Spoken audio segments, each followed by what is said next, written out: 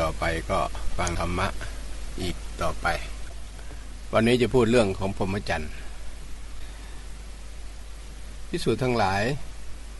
ที่เราจะพึ่พรหมจรรย์นี้เราประพฤติกันไม่ใช่เพื่อหลอกลวงใครนะโยมเราปฏิพฤติพรหมจรรย์นี้ไม่ใช่เพื่อจะหลอกลวงคน ไม่ใช่เพื่อจะเรียกร้องให้คนมาเคารพนับถือ แล้วก็ไม่ใช่เพื่ออนนี้สงด้วยลาบสักกะหรือเสียงเยินยอซึ่งต่างๆ เหล่านั้นหาไม่ได้ ไม่ใช่เพื่ออนนี้สงให้เป็นเจ้าลัทธิหรือผู้จะแก้ปัญหากับญาติโยมต่างๆ ก็หามีได้ ไม่ใช่เพื่อจะให้คนรู้จักตัวให้อย่างใดอย่างหนึ่ง หรือเพื่อจะให้คนมากราบไหว้บูชาหรืออะไรเหล่านี้เป็นต้น เราไม่ได้ไปพืชพรหมจรรย์อย่างนั้น เราจะแต่รู้จักคือเพื่อสังวรละคือสำรวม แล้วก็เพื่อหาปหานะละออกก่อนเพื่อวิลาคะคือให้หาย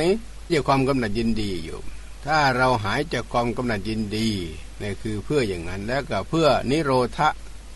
คือความดับทุกข์อยู่ นี่คือพรหมจรรย์ของของเราไม่ได้เพื่ออให้คนอื่นมารู้จัก หรือเพื่อหลอกลวงคนอื่นหาไม่ได้ หรือจะเพื่อให้คนเข้ามาเคารพนับถือก็หาไม่ได้อืมพื่อให้ได้อานิสงส์มากมายในการประพฤติพรหมจรรย์ก็หามีได้หรือเพื่อคนมาสักการะบูชาหรือสรรเสริญเพื่ออานิสงส์ต่าง ๆ นั้น ก็ไม่ใช่โยมหรือจะเพื่อทางสอนลัทธิต่าง ๆ เพื่อแก้ลัทธิโน้นและแก้ลัทธินี้ก็ไม่ใช่อีกเหมือนกัน ไม่ใช่เพื่อให้ใครคนใดคนหนึ่งให้มารู้จักแล้วมาอย่างโน้นอย่างนี้ไม่ได้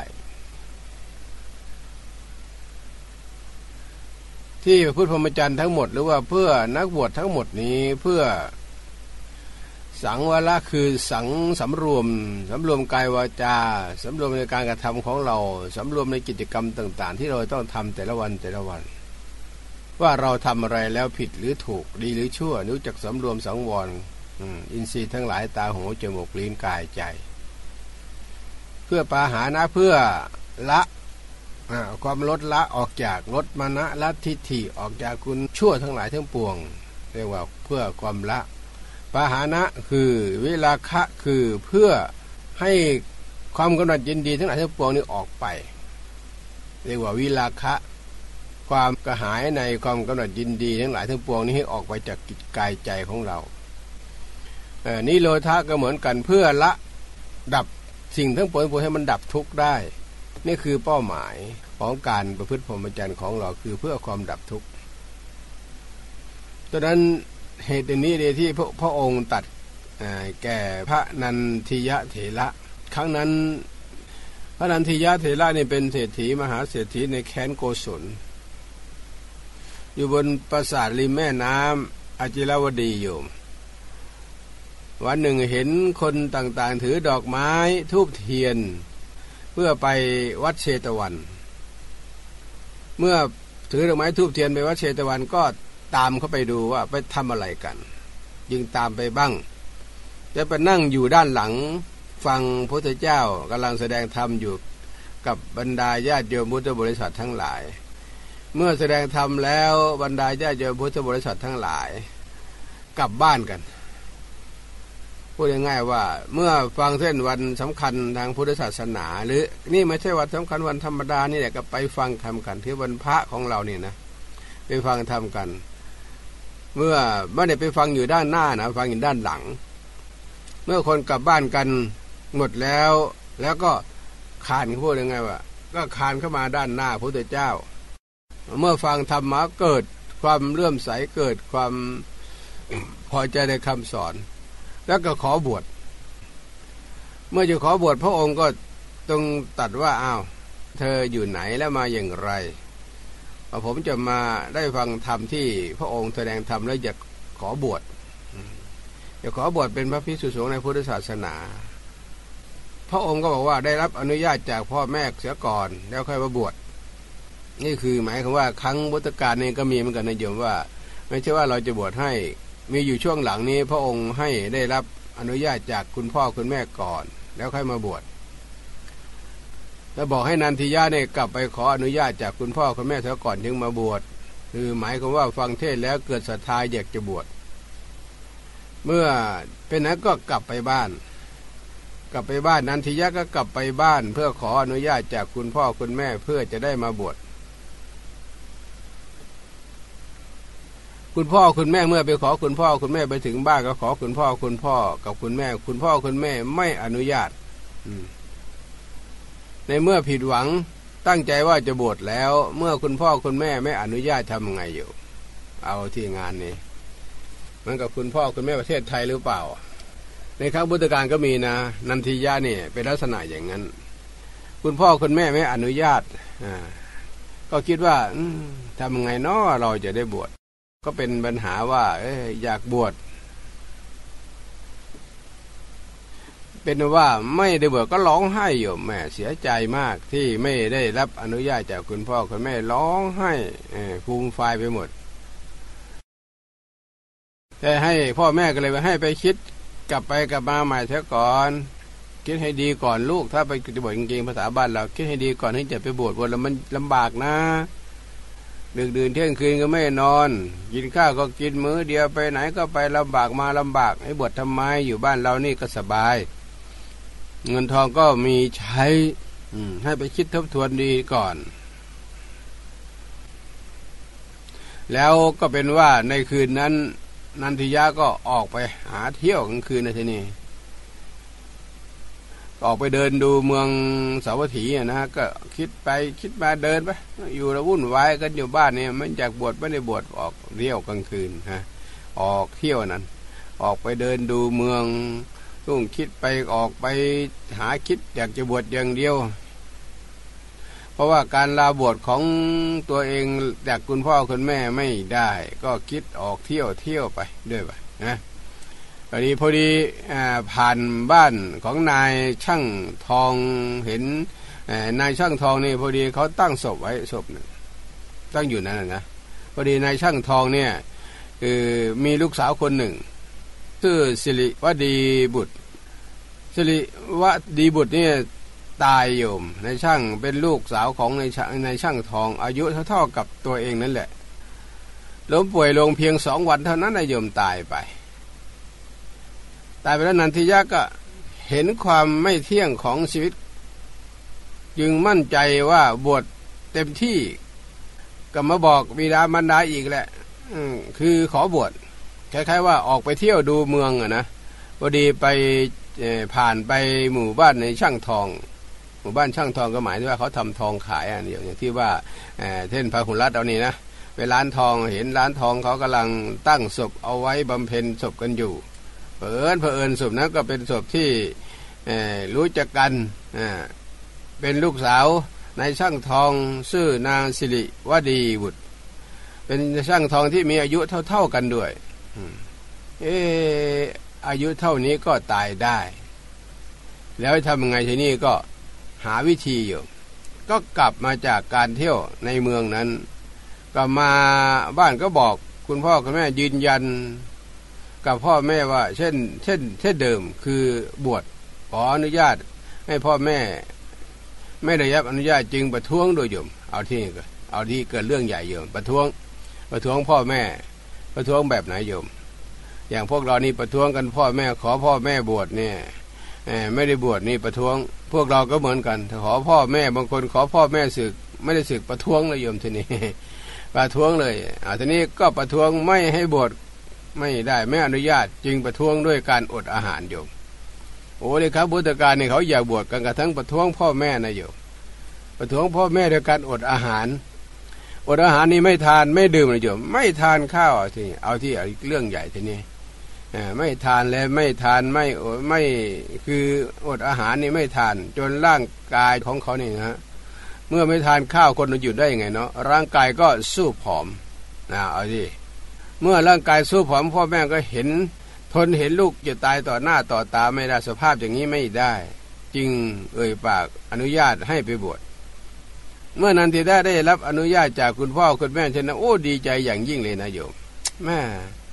บางคนที่ที่อยากจะบวชในครั้งพุทธกาลนี่เขาไม่ใช่ธรรมดานะโยมพ่อแม่เขาห่วงลูกรักลูกขนาดไหน ก็คงเหมือนปัจจุบันนี้ได้โยม ปัจจุบันนี้พ่อแม่ก็เหมือนกันเราสังเกตดูว่า เวลาลูกบวชนี่พ่อแม่จะมาทำบุญทุกวันทุกวันนะ แต่เวลาลูกไปบวชก็ไม่ได้มาทำบุญเลย ไม่รู้ยากหรือง่ายว่ามันต้องมาบ่อยเลยโยมนานๆมาทีก็ได้เดี๋ยวมาบ่อยแล้วก็มาพูดกันแล้วก็อ้อนกันเดี๋ยวลูกอ้อนพ่ออ้อนพ่ออ้อนลูกกันนั่นน่ะ ต่างคนก็ต่างอ้อนกันผลสุดท้ายก็ไปอยู่ที่เดิม ก็เลยไม่ได้ปฏิบัติอะไรเลย ไม่ต้องหมาไม่ต้องกลัวอดหรอกอาหารการกินก็เยอะแยะ ก็ไม่ฟังก็หมาทุกวัน เพราะอะไรก็ไม่ทราบเหมือนกัน กลัวลูกจะเหงากลัวลูกจะอย่างง้นกลัวลูกจะอย่างนี้ จริงๆ แล้วเขาตัดแล้วบวชนี่เขาตัดแล้วมันต้องมายุ่งหรอกปล่อยเขาอยู่ของเขาเถอะ พระเขาก็มีการอบรมสั่งสอนกันอยู่แล้วนันทิยะนี่ก็เหมือนกันนะเมื่อรับเมื่อได้อนุญาตจากคุณพ่อคุณแม่ก็เอาทีนี้ปล่อยเลยโยมเข้าวัดเลย เห็นไหมโยม คือตั้งใจเจอพืชพรหมจรรย์อยู่แล้วแล่ในพืชพรหมจรรย์นี่จึงบอกว่าไม่ได้พืชพรหมจรรย์เพื่อลาบเพื่อสักการะเพื่อหลอกลวงใครนะโยมพืชพรหมจรรย์นี่ยเพื่อพืชเพื่อให้มันเข้าถึงจุดเป้าหมายปลายทางนะนะไม่รับอนุญาตก่อนที่ขอบวชไม่รับอนุญาตอดข้าวอดน้ำด้วยโยมเอาที่เมื่ออดข้าวอดน้ำพ่อแม่เห็นท่าไม่ดีลูกจะตายแน่เอาจริงเว้ยด้วยการอดอาหารการกินด้วย การสละทรัพย์สมบัติทั้งหมดนี่ ทิ้งหมดเลยโยมนะ เพราะว่าเงินทองเข้าของที่พ่อแม่มีอยู่มีลูกชายคนเดียวเท่านั้นนะนะนะได้รับอนุญาตจากพ่อแม่แล้วก็โอ้โหดีอกดีใจเยอะนะกลับไปเลยกราบพระพุทธเจ้าหรือว่าไปขอทูลบวชเลยก่อนที่พระพุทธเจ้าจะมอบอพระเถระรูปใดรูปหนึ่งให้นันทิยะนั้นไปบวชนั้นก็ไปไปไปสิ่งไปถิงว่าปาลบกันอยู่ว่าพระพรหมจรรย์เนี่ยเพื่อพิสูจน์ทั้งหลายเข้าเฝ้าอยู่นั้นน่ะนั้นน่ะ เมื่อพิสูจน์ทั้งหลายปาลบกันแล้วก็เอาไปบวชนั้นเมื่อพระนันทิยะได้บวชแล้วก็จะพึ่พรหมจรรย์เดี๋ยวโอ้ย เป็นสิ่งที่พออกพอใจปลื้มปีติเป็นอย่างยิ่งนะพระองค์ก็กล่าวประลบท่ามกลางของพิสุทั้งหลายที่เฝ้าอยู่ในขณะนั้น พระหิยะนี่นะเขาบวชนี่เขาไม่ได้บวชดด้วยเพื่อลาบสักการะได้เสียงเย็นยอนะโยม เขาพุทธพรหมจรรย์นี่นะพุทธพรหมจรรย์คือปฏิบัตินี่จะพูดยังไง แล้วปฏิบัตินี้ไม่ได้ปฏิบัติเพื่อลาบสักการะหรือเสียงเย็นยอหรือ เพื่อหลอกลวงคนใดคนหนึ่ง เรามาปฏิบัติก็เหมือนกัน แล้วปฏิบัติตามกระแสธรรมที่พระเจ้าตัดไว้ ไม่ใช่ว่าเราจะเรียกร้องความสนใจจากเทวดาองค์ใดองค์หนึ่ง หรือคนใดคนหนึ่งไม่ได้ นันทิยะในท่านบวชเพื่อต้องการให้มันได้มาถึงมรรคผลนิพพานเท่านั้นเองนะเพื่อนันทิยะนี่จึงเป็นสิ่งที่บอกว่าพระพุทธมจรรย์ ไม่ใช่เพื่อเราจะไปหลอกลวงคนใดคนหนึ่งเดี๋ยวพระพุทธมจรรย์เพื่อเอาธรรมะเพื่ออสังวรสำรวมกายอินทรีย์ทั้งหลายตาหูจมูกลิ้นกายใจเรียกว่าสำรวมเดี๋ยวโยมนะสำรวมตาตาเห็นรูปก็สำรวม หูได้ฟังเสียงก็สำรวมนะเมื่อสิ่งใดสิ่งหนึ่งเกิดขึ้นในตัวเราเราก็สำรวมตัวเราตลอดเวลาฮะคือเมื่อเราสำรวมในกายเรียบร้อยแล้วโยมให้กายเรียบร้อยเมื่อเรียบร้อยแล้วก็จะเป็นเหตุให้กันว่า ปะหานะยังคือปะคือประหารคือละออกแล้วถึงความกำหนัดยินดี ในสิ่งต่างๆไม่ว่าจะเป็นลาบสักการะได้เสียงเยินยอหรือสิ่งต่างๆ ที่เขาได้มามากมายเราก็ละออกไปโยมอย่าไปเห่อเหิมจะไปทะเยอทะยานกับสิ่งเหล่านั้น เพราะอะไรเพราะว่ามันไม่มีอะไรเลยความรู้สึกของผู้พุทธปรมจันนี่นะนันทิยะเนี่ยก็เหมือนกันโยมน่าเห็นใจนะน่าชื่นใจนะแต่มาว่าเห็นใจตรงที่ขอข้อแม่แล้วไม่ให้บวชนี่น่าเห็นใจ แต่ก็น่าชื่นใจตรงที่ได้รับอนุญาตจากพ่อแม่นะได้ได้บวชเป็นพระเนนโอ้โยมอาตมาอยากได้อยากได้พระอย่างนี้นะ เอาไว้ไม่บวชในพุทธศาสนาอาตมาเองก็เหมือนกันละอ่าแต่ดีก่อนที่จะบวชขอบวชคุณพ่อคุณแม่ก็ไม่แม่ก็ไม่อยากให้บวชอยากให้แต่งงานแท้ทำนะเอิญเอิญมาตายซะก่อนถ้าไม่ตายก่อนเขาไม่ได้บวชเหมือนกันอันนี้ก็ดีคงจะเป็นพ่อคนไปแล้ว คงจะเป็นคนใช้ไปแล้วในบ้าน เป็นใช้คนใช้อะไร คนใช้คุณนายไปในบ้านนะโยมแต่นี้คุณแม่ตายก็เลยบวชให้คุณแม่ซะเลย บวชแทนคุณค่าน้ำนมโบราณเขาเรียกว่าบวชแทนค่าน้ำนมเราไม่ตายปนี้คุณนายใช้กันหัวแหลมมาแล้วหมดแล้วแต่นี้ก็เลยมาบวชบวชแล้วก็เป็นสิ่งที่พอใจอยู่เออประพฤติพรหมจรรย์แล้วก็ไม่ได้หวังเพื่ออะไรอยู่ไม่ได้หวังเพื่อให้ญาติพี่น้องมาเคารพมานับถือ ไม่ได้หวังเพื่อให้ลาบสักการะจากญาติพี่น้อง ไม่ได้บวชเพื่อไล่เพื่อนาเพื่อเข้าของเงินทองหรือทรัพย์สมบัติจากพ่อแม่พี่น้องอะไรเลย ไม่ต้องโยม คือไม่มาบวชนี่ไม่ได้หวังก็จะเอาทรัพย์สมบัติมีหนามซ้ำทรัพย์สมบัติที่มีอยู่ไล่นาพ่อแม่ที่มีอยู่เอาไปโยมเขาจะได้เอาไปเลยให้พ่อให้พี่ให้ญาติให้พี่น้องเอาไปหมดเลยอยากได้ใครได้แบ่งกันไป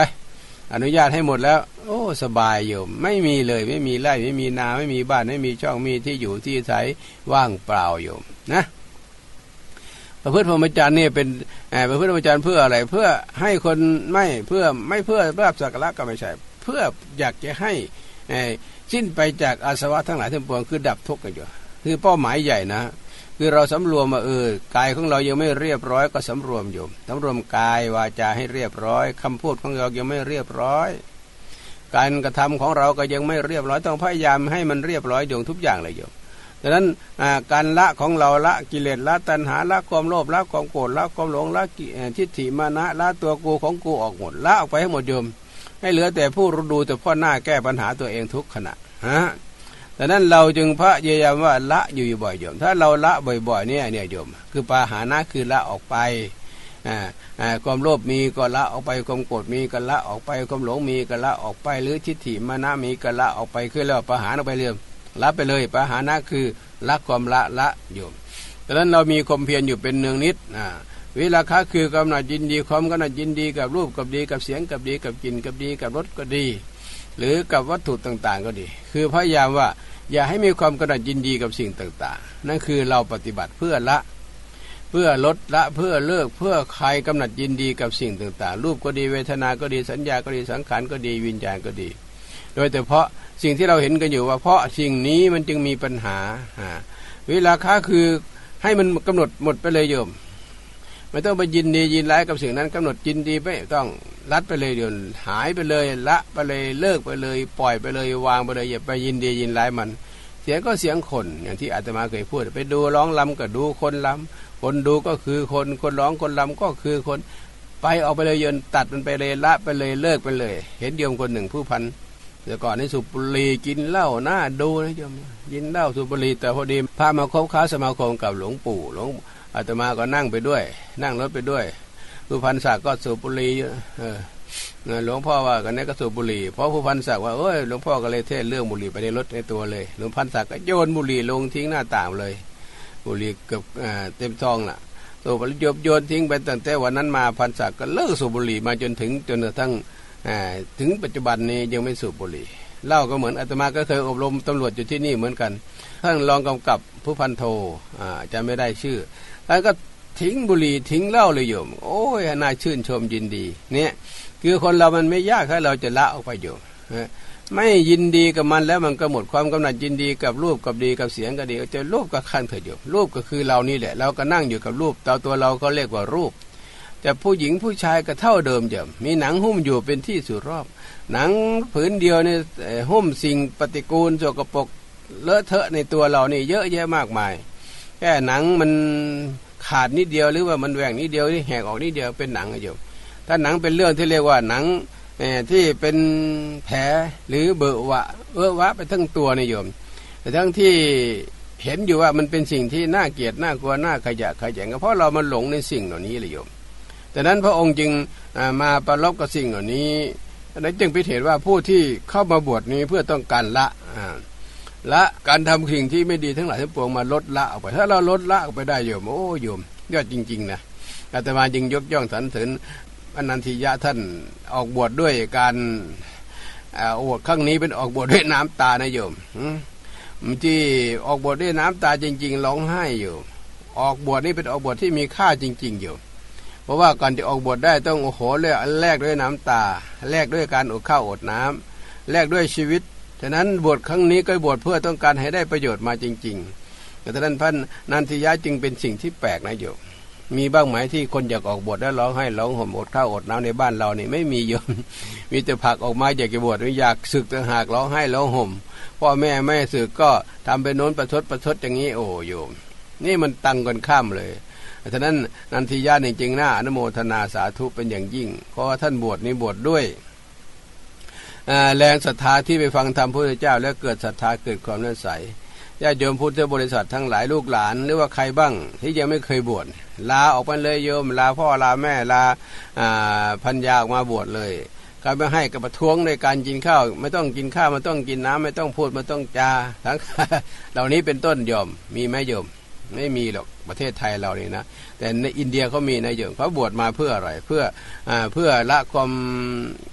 ความวุ่นวายทั้งหลายทั้งปวงนะไปดูการเล่นและเล่นต่าง ๆ ในเมืองก็ไม่เห็นสวยงามอะไรดูก็ดูคน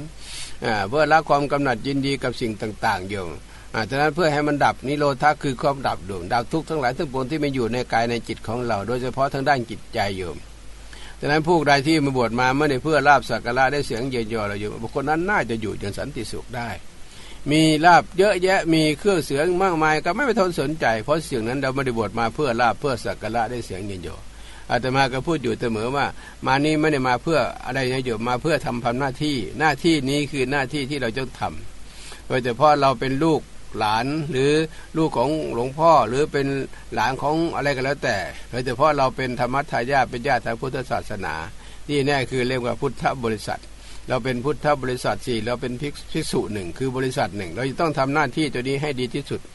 ให้ได้ประโยชน์จากการมาบวชจะทำให้เป็นประโยชน์มากที่สุดคือ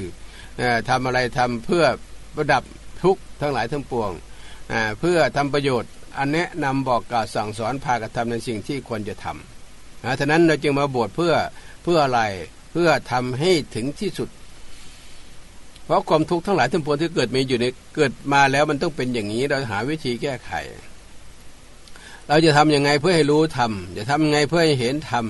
จะทำยังไงเพื่อให้มีความเป็นธรรมกับตัวเราให้มี เราต้องหาความเป็นธรรมกับเราก่อน เราจะไม่เบียดเบียนใคร ไม่ทำลายใคร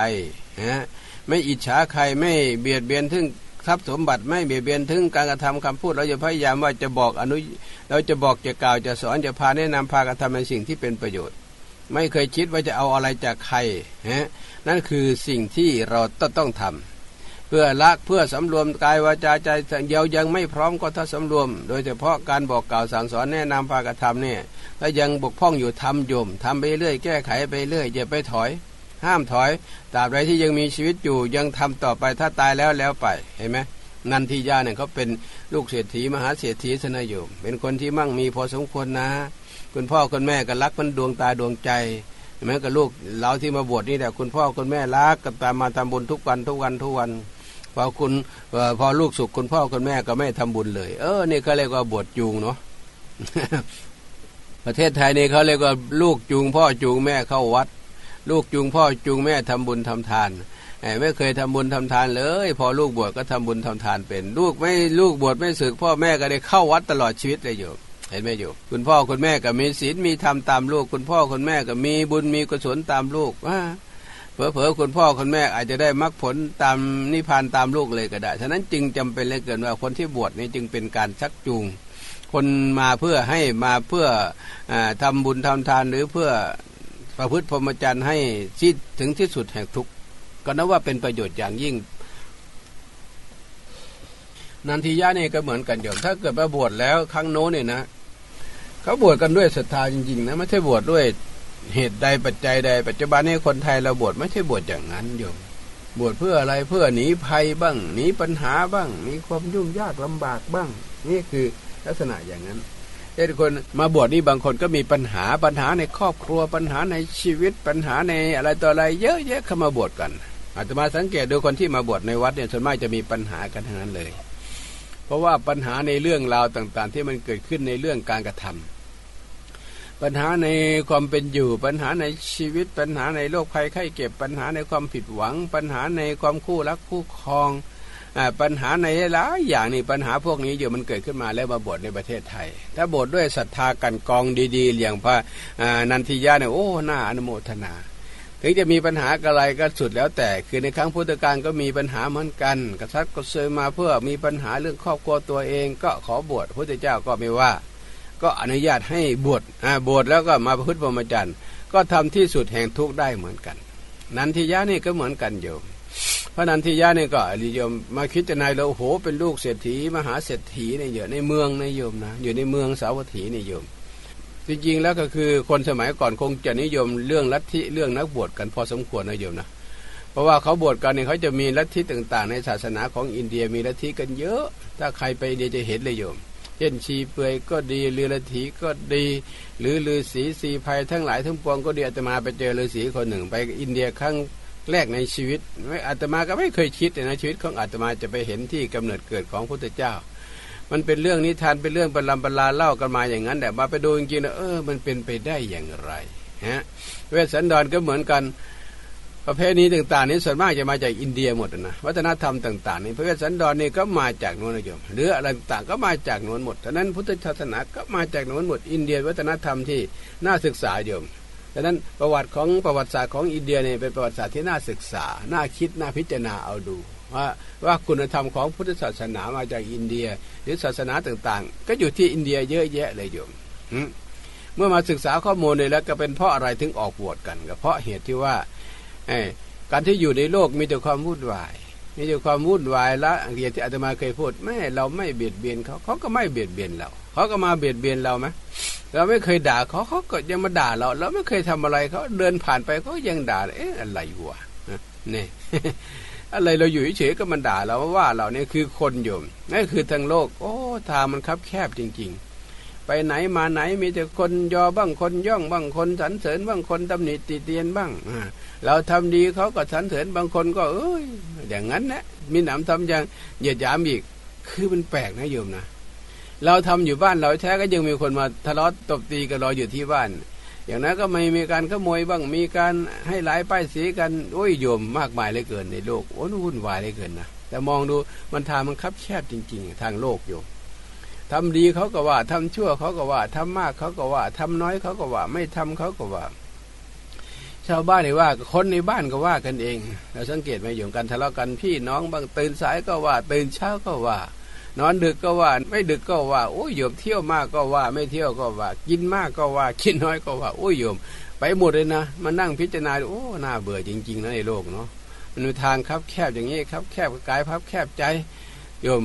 โยมทุกคนที่นั่งอยู่เนี่ย ไม่ใช่ว่ามันโดนพ่อแม่ดุไม่โดนเดินไม่โดนพ่อแม่ดุไม่เดินพี่น้องด่าว่าเนี่ยไม่มีโยมพี่ก็ว่าน้องน้องก็ว่าพี่ พี่ป้าหน้าอาญาติ พี่น้องทั้งหลายทั้งปวงก็ว่าทำดีก็ว่าทำชั่วก็ว่า แล้วก็เหยียดย้ำกันด้วยประการต่าง ๆ โอ้โยมมันหมดเลยนะ หาทางอยู่มันคับแคบจริง ๆ ไปคนนั้นก็ว่าไปคนนี้ก็ว่า เออยังไง แต่พระนันทิยะไม่มีใครว่านะโยม จะไปน้ำถ้ำไปฟังเทศคือหมายเขาว่าเขาไปกันนี่จะไปทำอะไรกันน่าไปฟังเทศพระเจ้าที่สาวัตถีโยมอ่าเชตวันไหมอ่าแต่นั้นก็ไปกันทีฉะนั้นจะไปกันไปกันไปฟังเทศพระเจ้าฟังเทศอยู่ พระองค์ก็ทางเทศให้บรรดาญาติโยมพุทธบริษัททั้งหลายฟังอยู่ไอ้เจ้าหนุ่มน้อยนี่ก็ไปแล้วก็ไปฟังเมื่อฟังแล้วก็เกิดศรัทธาเลื่อมใสก็อยากจะขอบวชท่านเลยเห็นไหมเมื่อไปฟังเทศแล้วเกิดศรัทธาเลื่อมใส เมื่อญาติโยมทั้งหลายกลับหมดแล้วก็คานก็ไปหาพระเจ้าจะขอบวชเอาทีเป็นสิ่งที่แปลกที่สุดนะขออนุญาตบวชแต่พระองค์ไม่อนุญาตให้บวชไปเธอจะบวชจริง ๆ ไปหาพ่อหาแม่เธอก่อน ให้รับอนุญาตจากพ่อแม่เธอก่อน เมื่อพ่อแม่เธออนุมัติให้บวชถึงจะบวชได้ เอาเลยที่งานนี้ ก็กลับไปบ้านเลยโยมกลับไปบ้านหาพ่อหาแม่จริงๆเลยกลับไปก็ขออนุญาตจากคุณพ่อคุณแม่ คุณพ่อคุณแม่ไม่อนุญาตโอ้ผิดหวังมากโยม เมื่อคุณพ่อคุณแม่ไม่อนุมัติให้บวชนี่ก็ผิดหวังมากเลยทำยังไงเนาะจะได้บวชร้องไห้เลยโยมนะเขาเสียใจมากร้องไห้ร้องห่มน้ำตาฟูมไฟกันไปหมด โอ้อย่าเขียนอย่างนี้จริงๆว่าคนจะบวชเด็กร้องไห้ร้องห่มบวชแล้วโยมอ่าทีนี้อะพ่อแม่ก็ตัดสินใจดีก่อนลูกก็จะไปบวชบวชมันลำบากนะ การกินก็ลำบากการไปกันมาก็ลำบากทุกยากด้วยประการต่าง ๆ อย่างที่ว่าอย่างที่วัดเราเนี่ยมาจะบวชมาพักผ่อนนะบุญมาจะบวชแล้วสบาย อย่างที่ญาติโยมทั้งหลายในประเทศไทยว่ากัน มึงขี้เกียจมึงไปบวชอืมอ่าแต่มึงอยากสบายไปบวชโน่นอ่า คนขี้เกียจไปบวชไม่ใช่โยม คนที่ขี้เกียจมาบวชมาได้โยมที่นี่ไม่ได้แต่คนที่มาบวชต้องขยันขันแข็งมาบวชแล้วต้องประพฤติปฏิบัติอย่างดี ไม่มีเวลาโยมอย่าไม่มีเวลาเล่นมีเวลาคุกคีกันหรอกมีแต่เวลานั่งสวดมนต์จะเดินภาวนาฉะนั้นวัดเชตวันนี้ก็เหมือนกันวัดเชตวันที่หนุ่มน้อยคนเนี้ยคือนันทิยาเนี่ย เมื่อเข้ามาบวชนี่มันจะลำบากพ่อแม่พารณาเรื่องความทุกข์ยากลำบากกินข้าวมือเดียวนอนก็นอนดึกตื่นก็ตื่นสายทำอะไรก็ไม่ได้ผิดไปหมด จะไปเที่ยวเตะเฮฮาสนุกเพลิดเพลินก็ไม่ได้มีแต่นั่งสวดมนต์ภาวนาภาวนาให้ลูกลูกก็ไม่ยอมนะโยกก็จะบวชอย่างเดียว โยม หายากจริง ๆ นะพระเชตวันนี้ก็ไปโยมฉะนั้นเมื่อไปแล้วก็ไปบวชพระ พุทธเจ้าก็มอบให้พระภิกษุรูปใดรูปหนึ่ง ไม่ได้บอกว่าองค์ไหนบวชให้ก็บวชเป็นพระสงฆ์ในพุทธศาสนาพุทธเจ้าก็ปรารบกับบรรดาญาติพุทธบริษัททั้งหลาย ในครั้งนั้นว่าบวชมานี้ไม่ได้บวชมาเพื่อหลอกลวงคนใดคนหนึ่งนะโยม บวชมานี้ไม่ได้บวชมาเพื่อให้คนนับถือกับไหว้บูชาอาตมาจึงพูดอยู่เสมอว่าบวชมานี้ไม่ได้มาเพื่อต้องการสิ่งเหล่านั้น บวชมานี้ไม่ได้เพื่อต้องการลาบสักการะได้เสียงเยินยอยจากบุคคลใดบุคคลหนึ่ง แล้วบวชมานี้เพื่อให้ประพฤติพรหมจรรย์ เพื่อให้ละเพื่อให้รู้จักสำรวมสังวรอินทรีย์ทั้งหลายทั้งปวงไม่มีศีลพยายามรักษาศีลขึ้นมา ไม่มีสมาธิพยายามฝึกสมาธิให้เป็น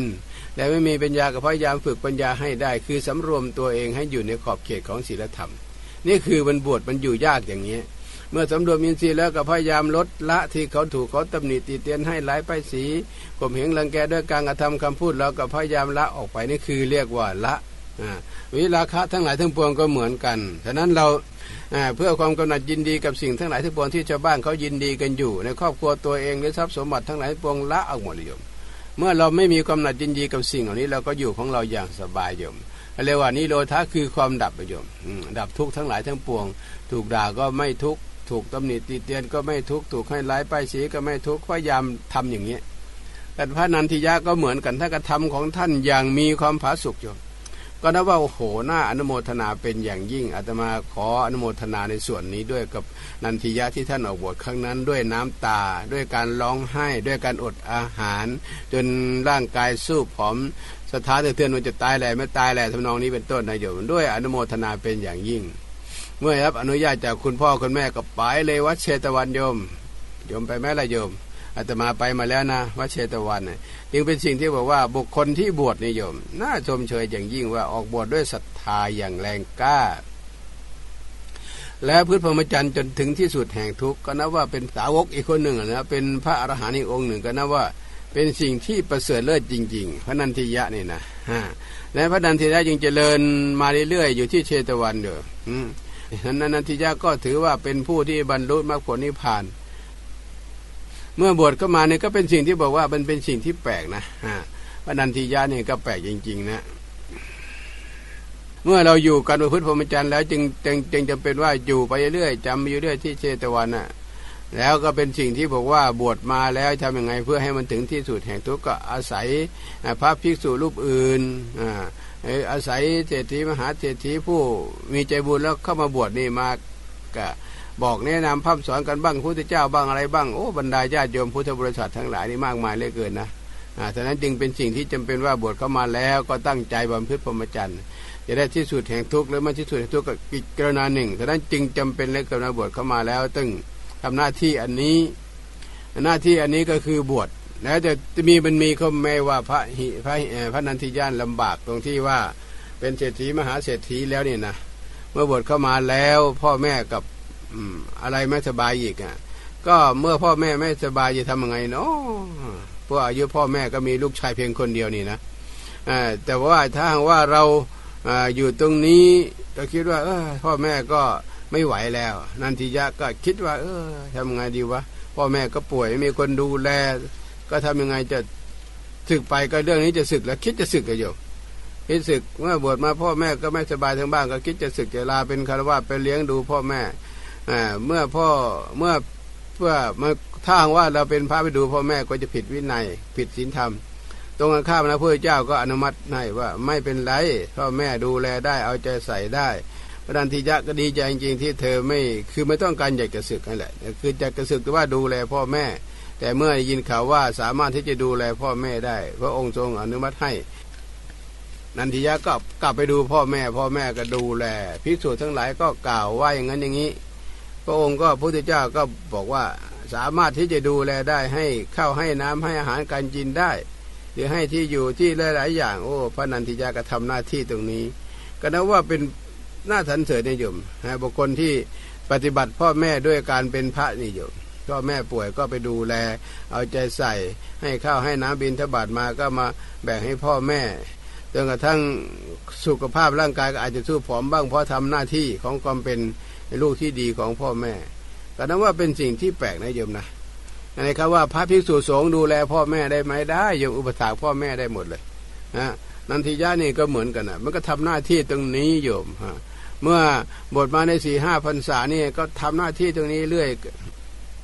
ถึงจะได้บรรลุมรรคผลนิพพานอะไรก็คือหน้าที่ของท่านทำไปกระทั่งจนถึงที่สุดอโยมโอวาทพุทธเจ้าตัดไว้ในครั้งนั้นก็เหมือนกันคือสามารถจะทำดูแล ให้เอาความใจใส่ดูแลพ่อแม่ได้พี่น้องได้หรือว่าเออโดยเฉพาะพ่อแม่เนี่ยนะผู้ให้กำเนิดเกิดมานี่ เมื่อป่วยไข้ก็ไปสามารถที่ดูแลให้อาหารการกินได้โยมนะบินทบาทมาก็แบ่งให้บ้าง เลี้ยงบ้าง เลี้ยงมันดาบิดา ไม่ผิดโยมไม่ผิดคำผู้เจ้าตัดไว้นะไม่ผิดนะ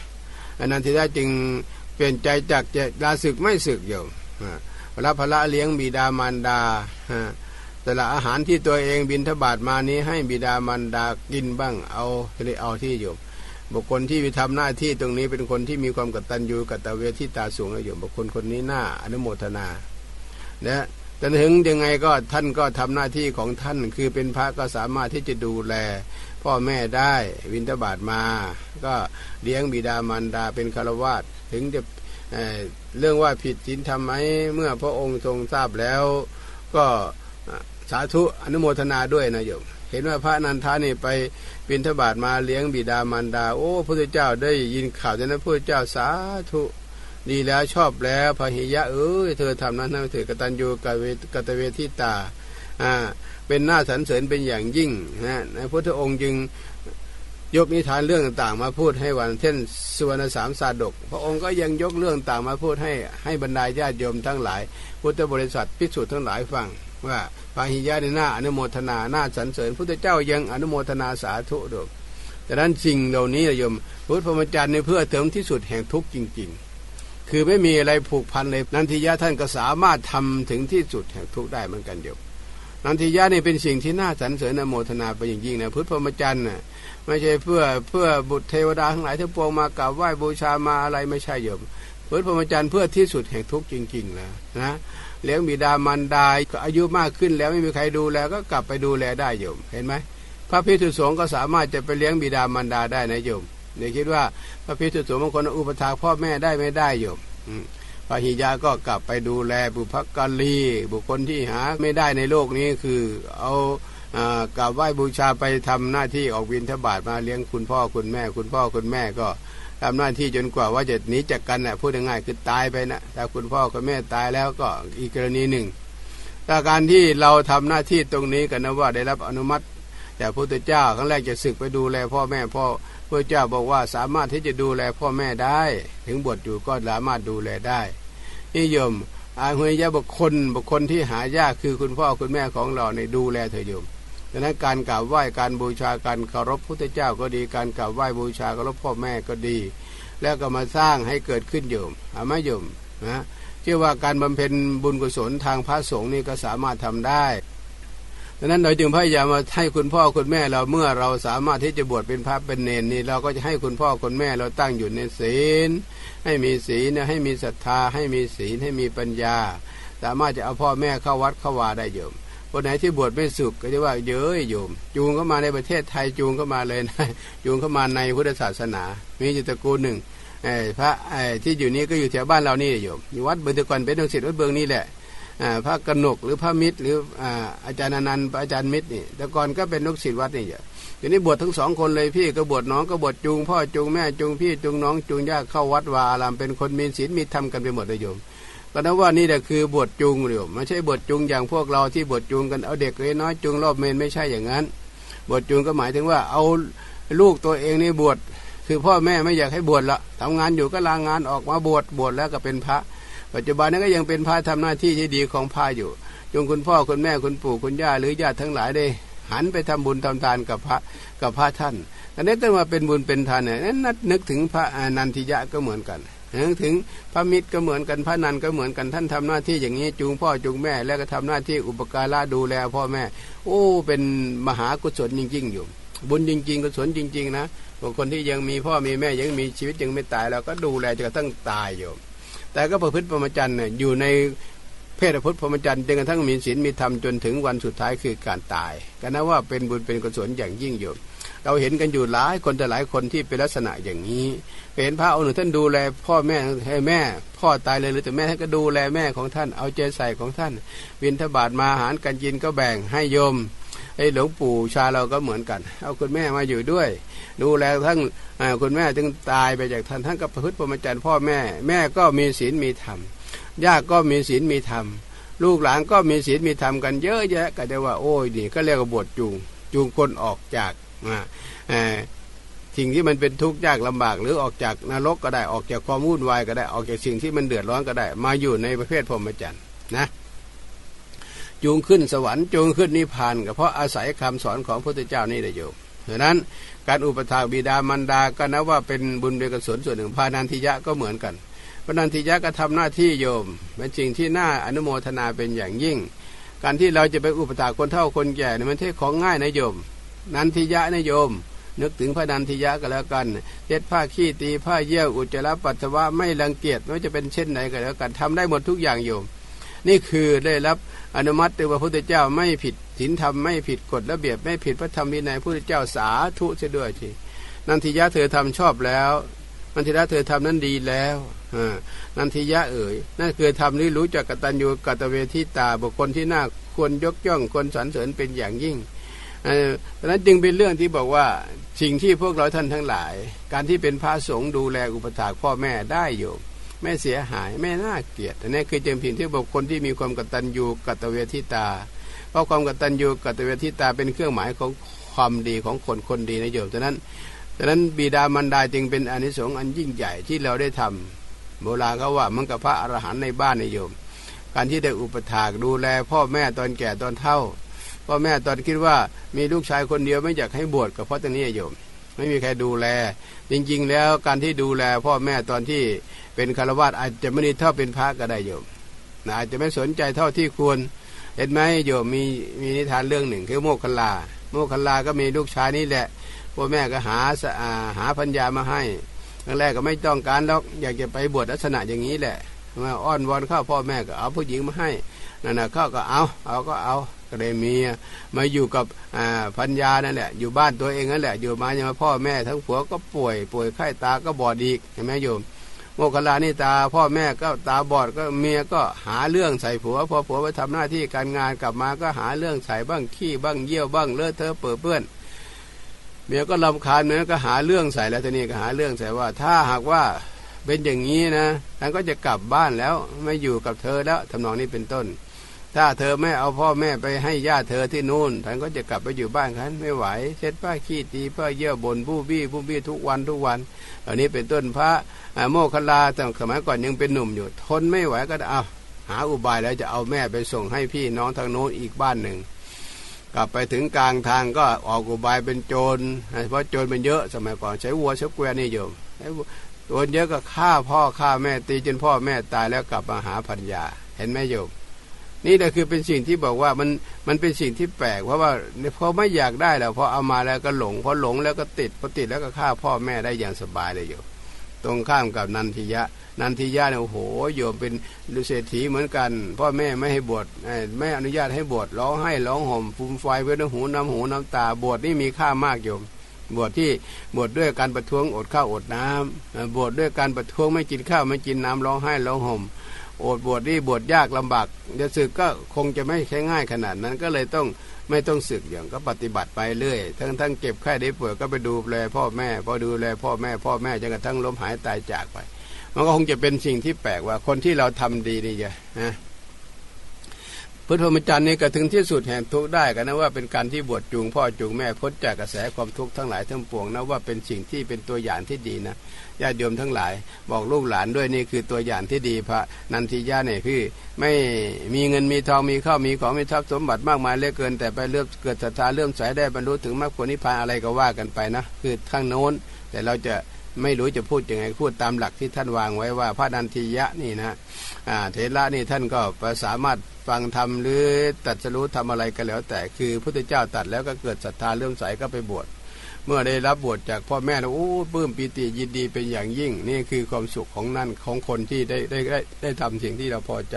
เมื่อปฏิบัติแล้วก็เพื่อต้องการอยากได้อะไรต้องการอยากจะทำที่สุดแห่งทุกข์อยู่นะไม่ไม่ได้บวชบวชมาเพื่อเทวดาองค์ใดองค์หนึ่ง หรือว่าบุจริงใดสิ่งหนึ่ง แล้วบวชมาเพื่อมรรคผลนิพพานอย่างเดียว และบำเพ็ญตัวเองจึงเป็นสิ่งที่พอใจบรรดาญาติโยมพุทธบริษัททั้งหลายก็เหมือนกัน พระนันทิยานี่ก็เหมือนกัน บวชมาแล้ว ตั้งใจบวชเพื่อให้ได้บรรลุธรรมผลนิพพาน บวชมาเพื่อรู้จักว่าสำรวมอินทรีย์ทั้งหลายตาหูจมูกลิ้นกายใจไม่ให้ยินดียินร้ายในรูปในเมื่อเห็นรูปก็ดีฟังเสียงก็ดีล้มจินดิ้นรถก็ดีก็ทำคือไม่ให้ยินดียินร้ายอยู่แล้วก็ละออกไป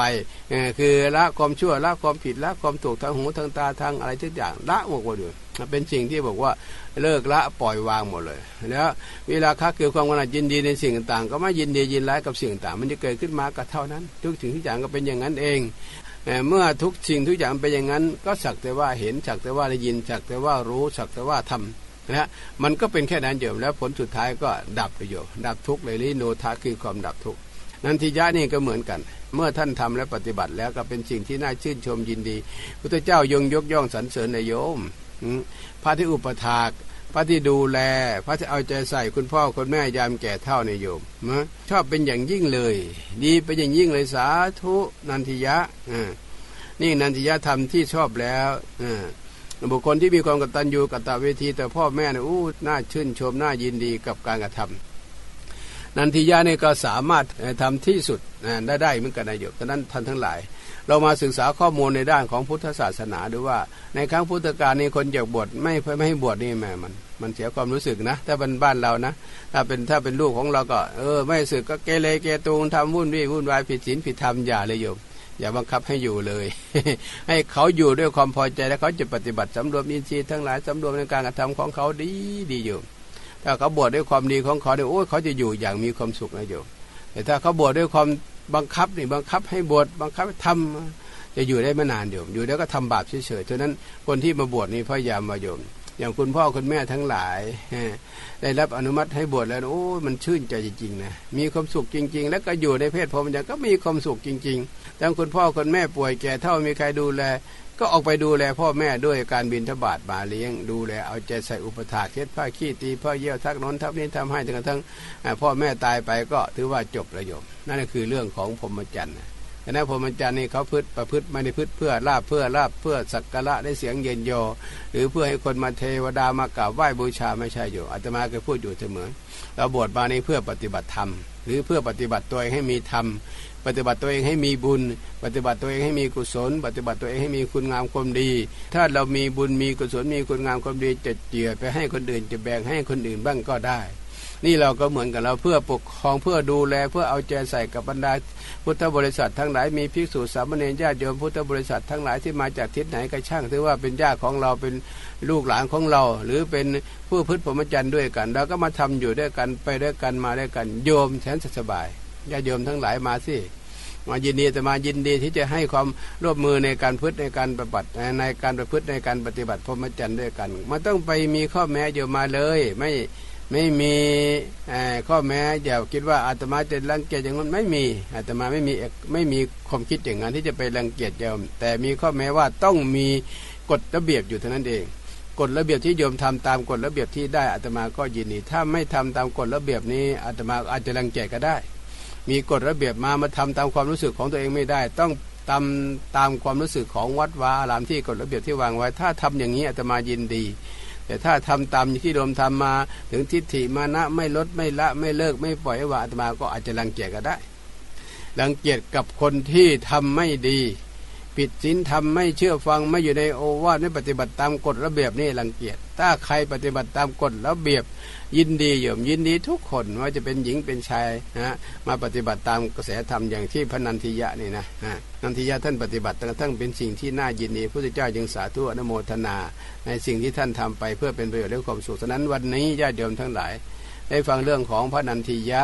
ติพุทธพรหมจันทร์ก่อนจะบวชในพ่อแม่ ได้ฟังธรรมที่เชตวันแล้วเกิดศรัทธาเริ่มสายอยากจะบวชพ่อมาขออนุญาตจากพ่อแม่ พ่อแม่ไม่อนุมัติอยู่ ไม่อนุญาตให้บวชก็อดข้าวอดน้ำเลยประท้วงในการอดข้าวอดน้ำอดข้าวน่าจนผอมเลยโยมผอมโชว์เลยนะพ่อแม่เห็นทายไหวตายแน่ก็เลยอนุมัติให้บวชเมื่ออนุมัติให้บวชแล้วก็บวชไปเรื่อยอยู่ไปเรื่อยจนทั้งพ่อแม่แก่เท่าสลาไปสลาไปก็ทั้งไม่มีใครดูแลก็กลับไปดูแลพ่อแม่ด้วยกันบินทบาทมาฮะบินทบาทมาก็เอาอาหารบินทบาทนี้เลี้ยงพ่อแม่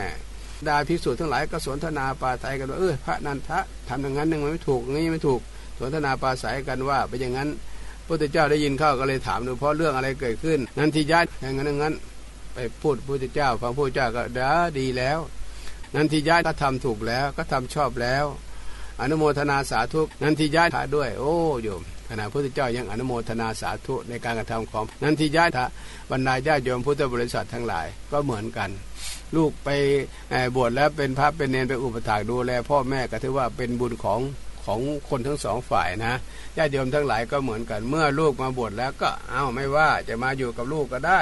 เห็นไหมนะพระพุทธเจ้าก็ดีหลวงปู่ชาก็เหมือนกันเห็นปัจจุบันนี้มีพระอนันต์กับพระมิตรแถวบ้านเราเนี่ยอยู่ที่ท่านลานี่แต่ก่อนทำงานลงปูนทำงานธนาคารอยู่ก็ลาออกจากจากการทำงานไปบวชเป็นพระท่านเป็นทั้งพ่อแม่หรือว่า